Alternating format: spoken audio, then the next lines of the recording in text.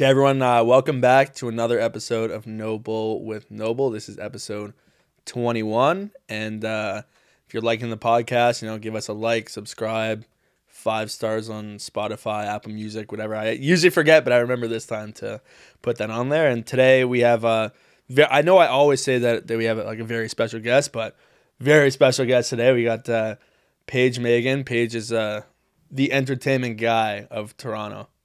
Self, not self-proclaimed. I proclaimed it. and I've got the honor to be beside the Minister of Defense, a man I've known since he was a very young boy and now is blossoming into something incredible. How are you, man? I'm great. How are you? Yeah, I'm breathing. I'm Yeah, alive. That's good. And, How um, business is uh, business is good as as usual. well, we got out of the woods. The pandemic was uh, pretty psycho. Uh, especially our industry, probably one of the uh, longest lasted uh, impacts, plus uh, hardest hit. Um, and I'm I'm alive to tell. You know, a couple couple scars and bruises, but We all we all made it through, so yeah, you know, that's good. Yeah, so I guess tell us a little bit about your business because you know, I mean, some of the people who are watching know who the Magen Boys are. Some people don't. So yeah, for sure. Well, um, so I have a twin brother. There's two of us. We started a company, uh, basically out of high school or so. Uh, we were we were known as the Magen Boys, uh, and we started throwing parties. Uh, we started throwing events uh, for our you know our our friends and the people that knew us in you know grade 11, 12, 13. Um, and from that point, we kind of built a, a reputation to be the party guys in the city. Uh, and um, while we were doing these all ages parties, where on every Friday or Saturday night we would have three, four, five, six hundred people show up. Uh, they were you know skewed to a little bit older than the bar mitzvah age, um, in which a parent, uh, a mother came up to me once at, at the mall and was like, "Oh, I, I need I need you guys. My my older son goes to all your parties and I need you guys to DJ uh, my my daughter's bat mitzvah." We're like, bat mitzvah? What are you talking about? No chance. It's like, please, please. We're like, "Mm, not not really for us. Three, four, five months later, um, we're we walk into Kiva's and I see this lady again. And she's like, I need you to do this party. I was been looking for your number. I couldn't find it in the yellow pages. the yellow page way back. Those Yeah. like don't even don't even exist like, anymore. We're dated here. Um, and she's like, um, well, I need you. I need you. I'm like, well, when's the event? And she's like, it's next year. We're like, next year. I'm like 18 years old. Next year. I don't know if I'm going to be alive next year. Like, what, you know, people are now planning, you know, a year, two, th- three years in advance for all their, you know, weddings and functions and so on. So we took her number, put it in our pocket. We're like, a few months later, like I, it was in like my jacket. I look up. I'm like, remember that lady? Like, maybe we should give her a call, see what's going on. Because I guess you, you'd be getting paid for these events too. Like before the events you were hosting, were you charging people or were yeah. you So we started throwing parties where we charge like, you know, 10 bucks, 20 bucks cover. Uh, and my brother and I would be the DJs, but we really, really didn't even know what we were doing. We were like pressing play on a CD, pulling the CD out and pressing play again, like really just figuring it out on the fly, um, which I kind of uh, have no regrets about. Uh, I mean, because it was amazing how the, the audience wouldn't even know what good was or bad because now you're seeing all these DJs in the world like with all their social technical- media and whatever? And yeah, Yeah. back then it was just people just wanted to have a good time. Oh my god! to good it- it- music. I t- back then when we were playing CDs, like you can jump on the da- on a dance floor and it would skip. So we'd have to put like pillowcases underneath the machine. oh, to make sure that the, yes, it was like yeah. shock absorbed and stuff. Um, anyway, so we, we took this lady. We, had, we found the lady's uh, card. And we're like, "Hey, um, do you remember us?" She's like, "Oh, of course I remember you guys." I'm like, "Have you made any decisions?" She's like, "Oh, I'm still waiting for you guys." Set up a meeting. Went to her house. My brother and I, you know, brought the equipment on our backs with speakers and all the things that they asked for. Uh, and we did that party, and from that one became two, and two into three and four, and the story goes on where we um, built a built a business where we were providing joy for people. and So you still are twenty something years later. Yeah. which is insane. it's it's been pretty cool run. I, I find myself in situations all the time where someone was like, "I met you in 2004," or "You were my counselor in in 2002," or uh, and, and you know, doing over 10,000 bar and bat mitzvahs uh, over the past, uh, I think more than that actually. As uh, over the past 20 years, way more than that. Sorry, it's even a rough number, but um, on, on a daily basis, like every day, not every other day, but every day, and multiple times a day, sometimes somebody who we did their bar mitzvah is now calling me for their wedding. Okay, I thought you were gonna say their kids, Well, so, which is probably gonna get there. Well, the data, the data on that actually. Now that that's so now we're in year 23 or almost 24, uh, and so if a 13 year old is um 24, it's 37. So we're about I, I'm predicting about 12 to 24 months away from doing someone's bar mitzvah where I did their parents' bar mitzvah. That's insane. It's crazy to think about. But so the crazy part for me is like if someone if the 20 year old version told me of me told me at 40 I'm going to be doing this this that I, I mean I literally like I wouldn't believe that that would even be like cool. I mean I'm I've got like shade of gray like I've, Yes. I've, I've seen the the light and it's funny it's crazy and proudly saying like we're cooler than ever better than ever and stronger.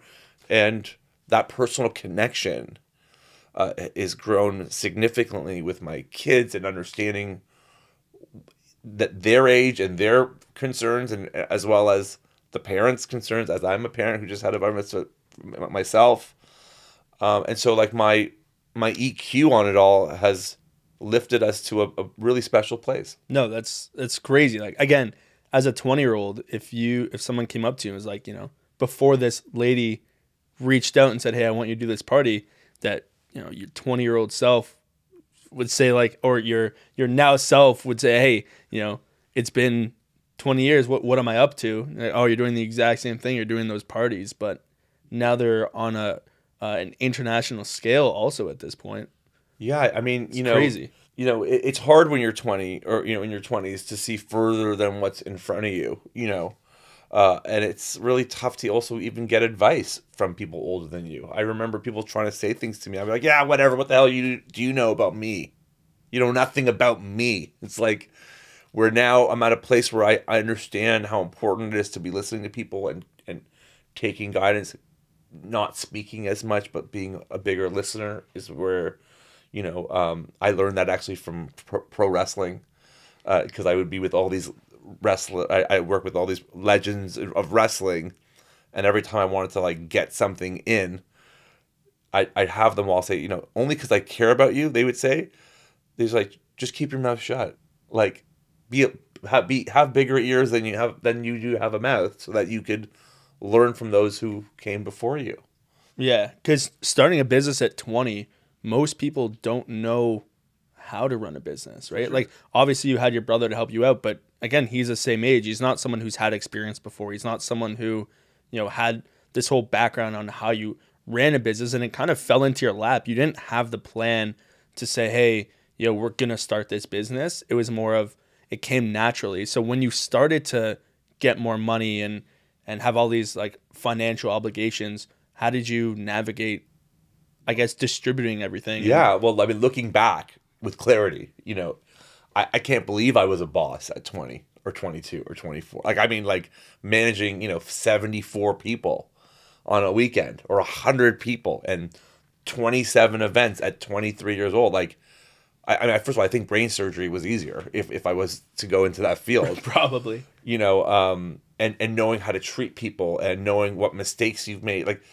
like you're not supposed to be good at anything unless you're like focusing on like high achieving sports or something at 23 or 22 like you don't know how to do it do business. You just ha- hopefully have the right intent and you care about you know what you're trying to do.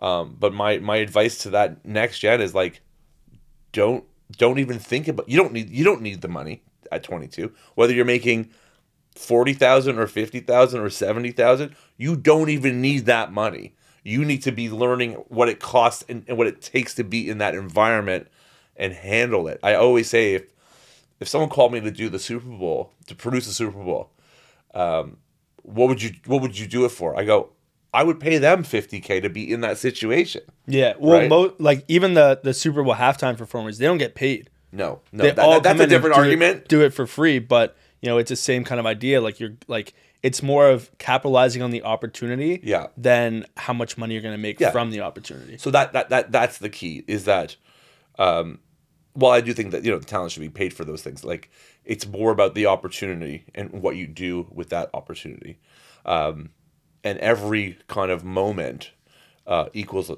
the story, right? Um, and so being put in those scenarios to, um, you know, find solutions or or excel or to learn or even make mistakes all have a have a significant value to me as part of the overall story of your life. So did your business grow from like did it grow naturally or were there things that you did for marketing and I guess like obviously there wasn't social media at the time but ways to put yourself out there or was it more natural because you were hosting these events and doing good cuz you there's a difference between you know you're DJing and you're behind the booth so you can't really talk to people it's more it's more so about the experience and and people listening and having a good time because you know for your business a lot of it is talking and meeting new people and Yeah. You know, I, I find that, you know, if you know you're working for yourself, you know, uh, you know, I look at that the, the gig the gig economy, right? You know, you do a good job, you'll get another good job. You know, like that little piece by piece mindset uh, was kind of where we were uh, taking it, not necessarily thinking about 10, 20, 30 years later or whatever it is. So we always treated that one gig, and I say this all the time, as if it was our Super Bowl, right? Um, and we always cared for that person, and and and I think our clients know that, um, because I am emotionally connected to, to being a part of the most significant days of people's lives.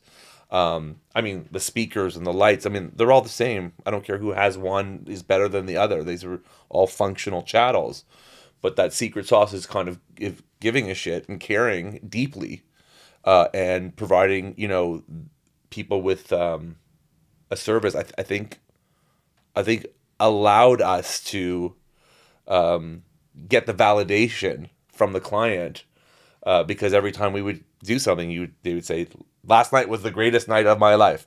Thank you so much for the greatest night of my life. I will never forget you for the rest of my life. Boom. Done. Keep doing it. And that that's similar to my business too right? Like for finding people a house that's the most important thing right? It's such a big asset in their life and to go out there and help them find their dream home how many shots like, you got? How many shots know? you got at that? Like you know? exactly and and even if let's say for example it's their first place which obviously wouldn't be their dream home. It could be but most times it's not. Getting that second house or like that third house and like helping people out and and having them remember you is is huge. Well so so how you, you how you do that and how you treat people how you make them feel i think those are all very significant points. And for you as you're a 26 year old you know 27 year old uh you know i look at these opportunities as like and again i only started thinking in this way and i don't think about it as in i need to redeem or profit on it. I just i'm finding myself in this situation where you want to have enough of those things where all of a sudden there's like a conveyor belt right? And then eventually that the first one in 10 years from now is going to be your 53rd one. Come- and, yeah, and then it's going to come around. back. And so that conveyor belt to me of having things working for you it's especially with today's like young you know person that's tr- got side hustle and got like all these extra arms i always say like you know you, you got to be you got to be an octopus with all these tentacles right? So that you could um really facilitate more than one thing. Same as you know social media snapchat tiktok instagram facebook where are you?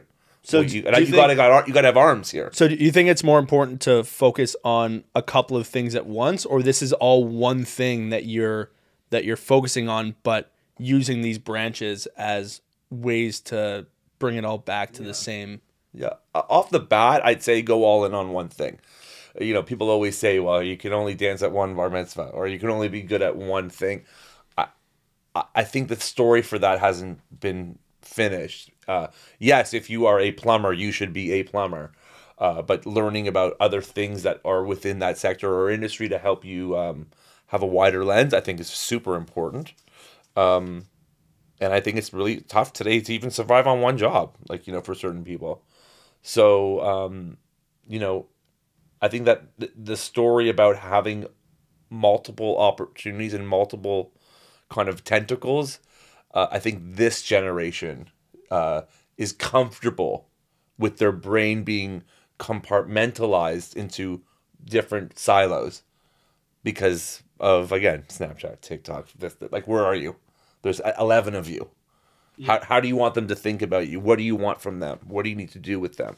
and I guess how yeah like how, how they find you because w- when you started you didn't have social media right so what what did you do Yeah. So it's funny. So the biggest thing that I ever did as an entrepreneur, which was my biggest uh, fail, there's this beautiful story, if you don't mind me sharing with you. no but please So right when we first started, we were like doing whatever we could, whatever we thought we could do to uh, get awareness. Um, ultimately, it came down to being good, doing the gigs, getting really, you know, in front of your audience. And so we never, so we were like dabbling with like putting an ad in a paper or doing this thing or that thing. Um, well, ironically, we, we were very hungry and thirsty just to succeed. Uh, we're around 18 years old, I believe, uh, 19 years old. And um, the Raptors, uh, do you remember when, like, in 2001, like Vince Carter, like Purple Fever? Yeah. Do you remember, like, it was all like the headbands? So the real funny story about that was that my brother and I were, were trying to be entrepreneurs at the same time and trying to overextend ourselves and take shots. Um, and um, we bought 10,000 purple headbands. Okay. Uh, you know where this is going or no? no Okay, no. good, good. So 10,000 purple headbands.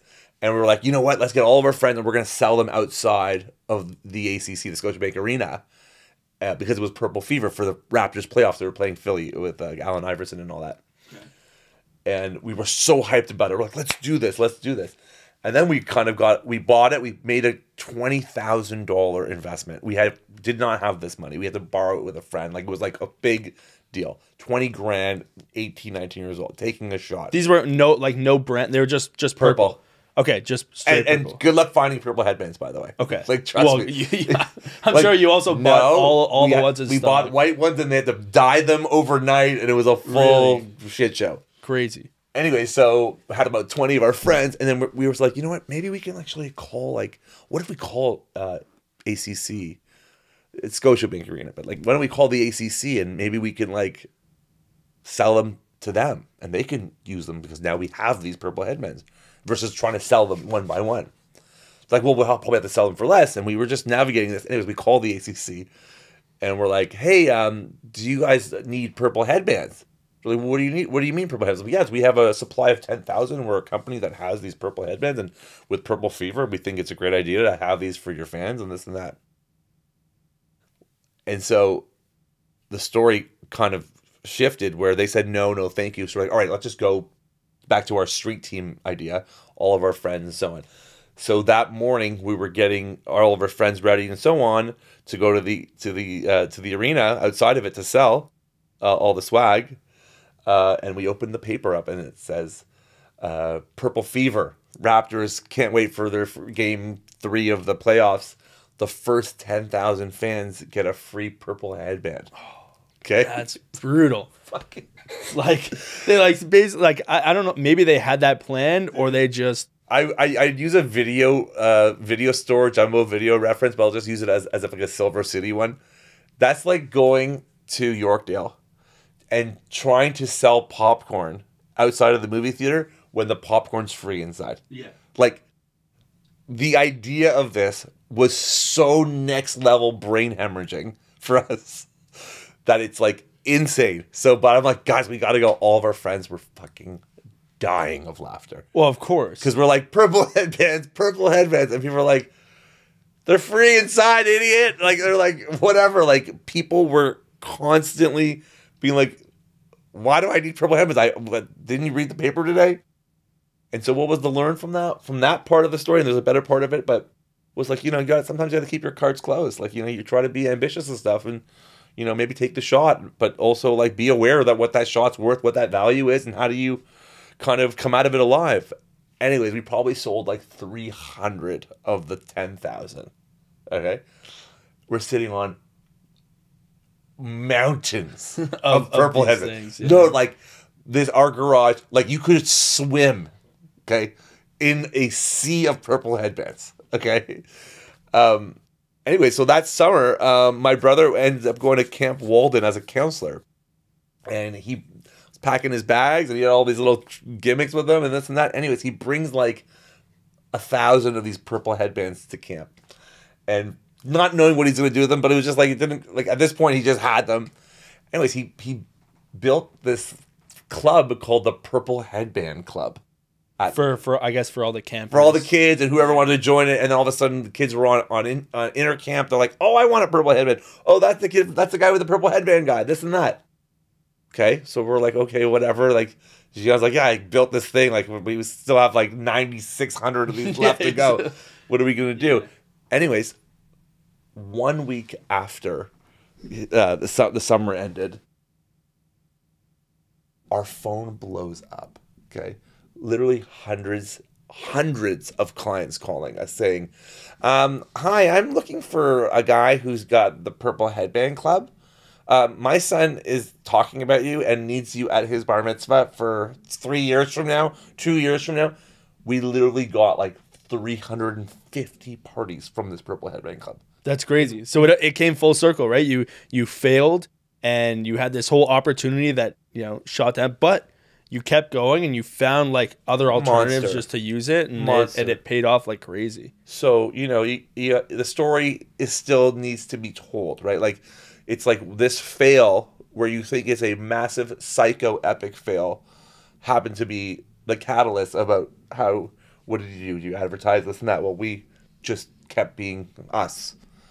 Um, and these, the, I've been in many situations where the bad thing that happened was mo- maybe the most beautiful thing I've ever done happened to me because of how we persevered and how we got through the the moments. No, it's it's a really good story and like a, a good lesson again for people who you know are starting a business or like Yeah. have ideas and or have failed and don't know what to do after they've failed because sometimes it, it kills you. You go out, you do something, you try, you fail, and it, it again it, it kills you. Like people don't know what to do after that, but it's about managing what you have and how you can capitalize on it. And again, you didn't even think that this thing was gonna blow up, but utilizing the the tools that you had with giving out these headbands, even if the first thousand were, were free to these I, little we kids. have some somewhere. I'm sure you still have some, right? And did, did you give them out at the at the parties? Yeah, then we started selling Yeah. prizes. We're like, oh, you gotta have a fifty purple. So we started slicing them off and re re-skinning them. It's like you know, and repurposing. Um, but the, the you know the trigger to me was like with what what you just said was like, you know, grind now. You know, figure grind. It's not about the money per se, but about being put in situations where you can pound and just be immersed with opportunities and figuring them out. And I mean now with like internet and stuff, like, you know, you can have a you can get information about things to smarten yourself up. Um but also you got to go with your instinct too. Like all the time I'll do things where someone's like I'm doing my research on this, this, that, and I'll be like I'm not doing anything other than going with my gut. And that's equal, that's equal. Like so but my gut is 20 plus years of business opportunities that have allowed me to have a gut. Yeah. So qualifying the scenario is important. Right. So after these, I guess you you did this for X amount of time, but once COVID started, everything kind of shifted, right? Like now, I guess you're going with your gut because you know what you've done the past twenty years. But what's changed since COVID? Because, like you said, you're you're in the party industry. You were the first ones to go, Yeah. and the last ones to come back because no one wanted to to be in a room with more than you know three people Yeah. and coming back again some people still aren't even comfortable going to these places a without a mask and b at all sometimes because they're you know i guess they're they're afraid of it which Cautious, yeah. totally fine being cautious but how did your business shift Well, okay, so so let's the COVID story was our 20th year in business. Like official 20th year. We were doing parties for longer than that, but 20th year in business, we were planning on having a massive party, like the Paige and Gion's like bar mitzvah celebration style, where we were gonna have literally um, this like thousand dollar a ticket fundraiser to raise money for like kids that didn't have our mitzvahs or for underserved communities and all this give back was very it still is extremely important to us.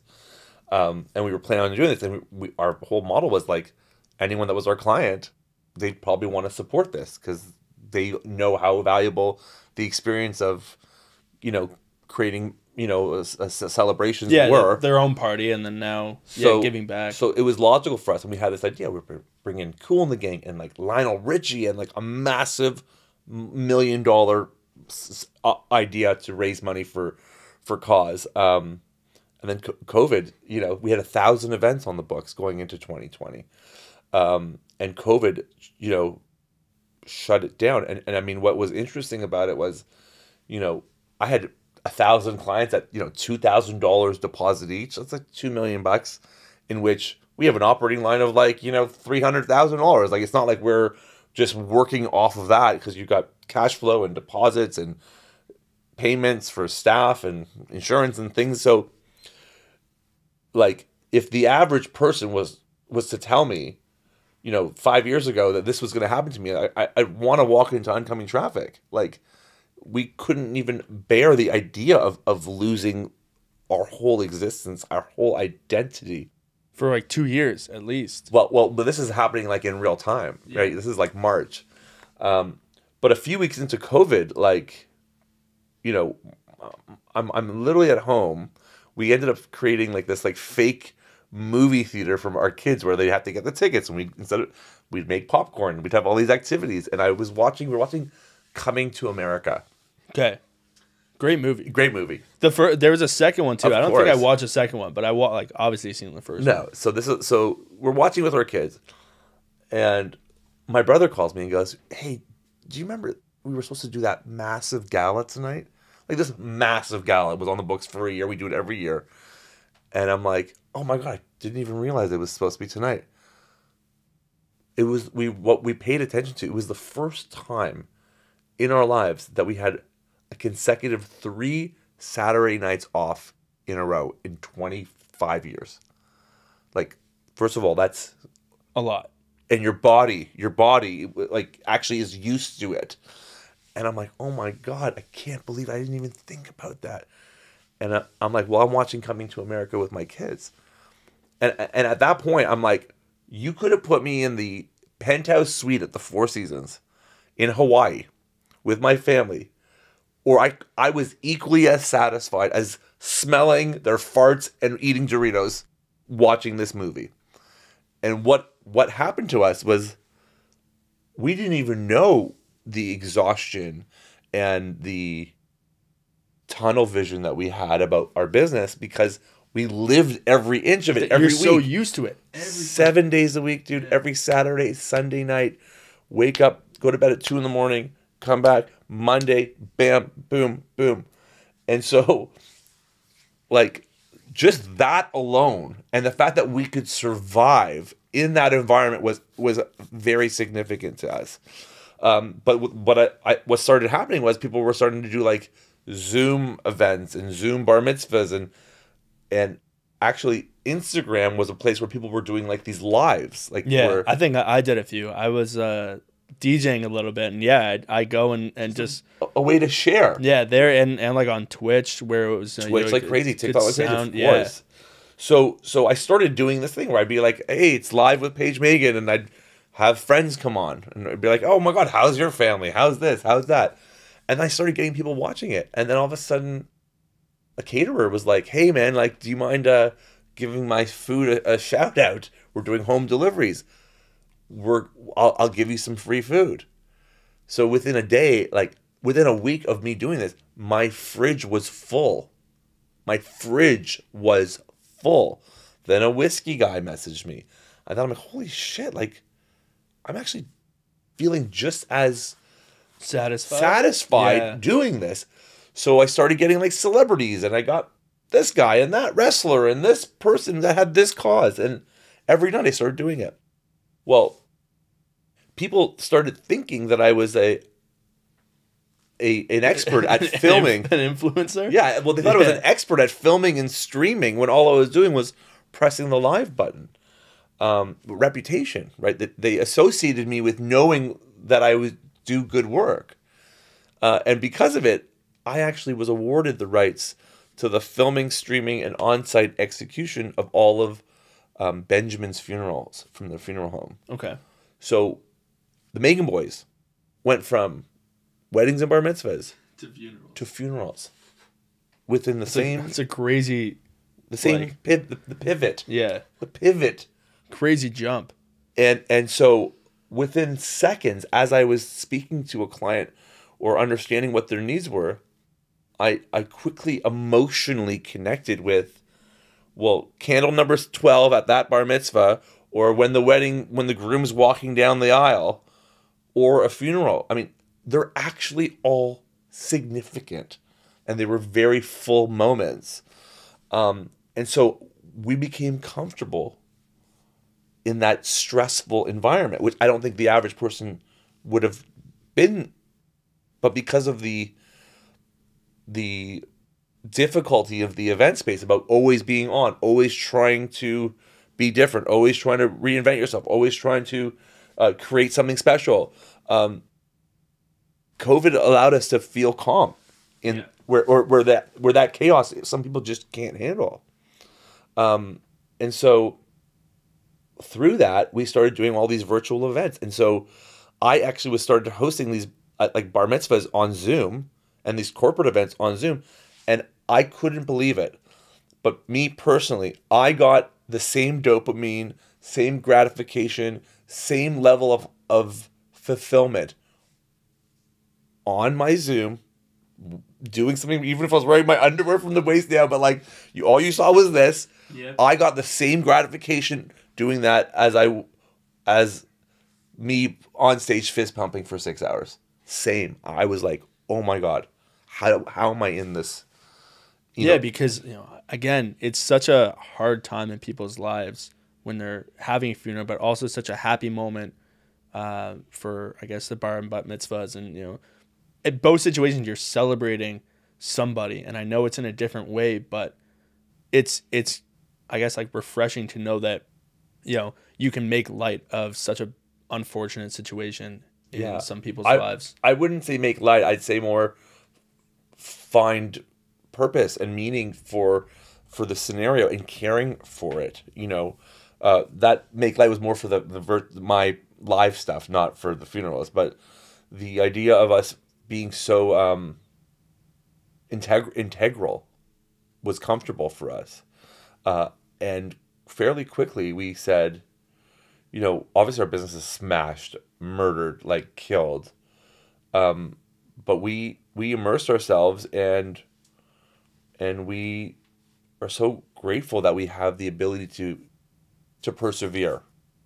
Yeah, because uh, again, yeah, it's it's it's interesting having those different shifts. Like, are you still doing those Yeah. virtual? Okay. Yeah, there's a hybrid. I think there's a hybrid. I think people are still itching for going back to an in-person experience and they're feeling that they need that and they want that and I, I've seen I think we've seen a good um, inbound of that obviously post COVID. Uh, I think it's kind of softening up a little bit because it's been too much. Uh, and I think it's gonna I mean I don't think it's gonna go back to zero. I don't think it's gonna go back to, to where it was a year ago. Um, but I think that whatever it is, it needs to be done right.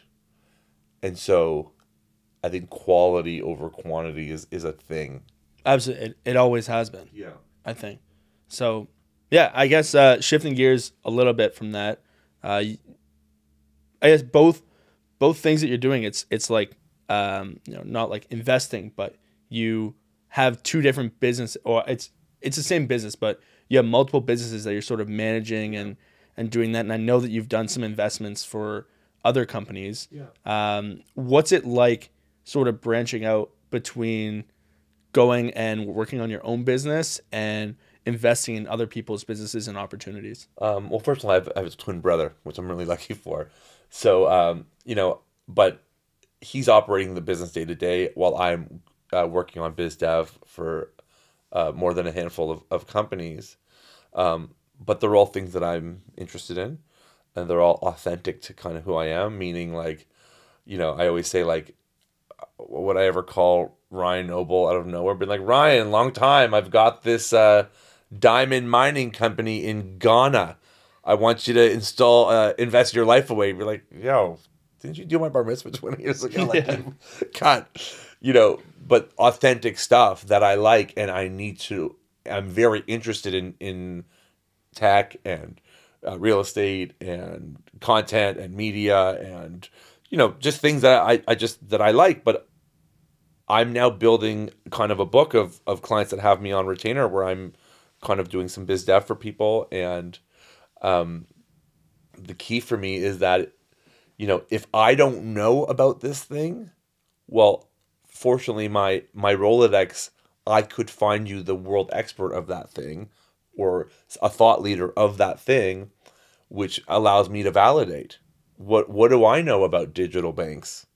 Nothing. But I know the number four guy at Scotia or RBC who I did his family functions or I did this versus that. And I have the ability to um, leverage my, my network, which uh, was the one thing I never paid attention to in co- because we were so busy just working on the events that we didn't realize we've built, you know, 20 plus 25 years of meaningful connections. the amount of people that you know is crazy. But like you said, there's a difference between knowing people and having that meaningful connection, Yeah. right? Like I like we spoke about this off camera before, but you know, you did my bar mitzvah, and that was whatever 14, 15 years ago, and you know, I gave you a call the other day, and it was as if like we've been real. friends our entire 'Cause we are. And I was you know 13 years old at the time, but you know, you having that connection with like my family and the friends and all of that is it's it's so nice to see because you know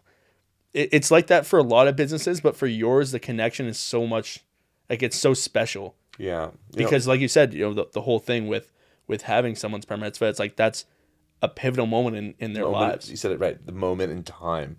Where were you when? Who were you when? Who was I when? You know, and it's one of those you know wedding bar mitzvah like these are significant kind of milestones, and um, you know that's real for us. Like, and I'm fortunate to care like that. You know, it's like people are like you know you, you know I always say like you know there's some people that are like in my industry that are like you know like Krusty the Clown, like backstage or smoking butts with a wife beater on, and they're not them. In you know, to the client, they're someone else. And I think, you know, again, everyone has to be their own way of doing stuff, but we live in the space of creating those meaningful connections and meaningful experiences and meaningful moments.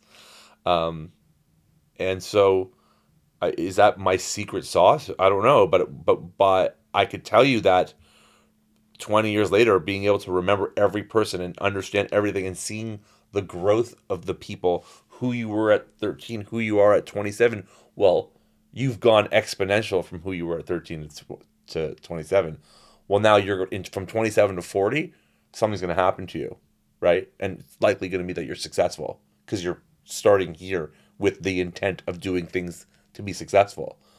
So if you stick around long enough in any venture you do, I believe the good will come as long as you're good through that whole journey.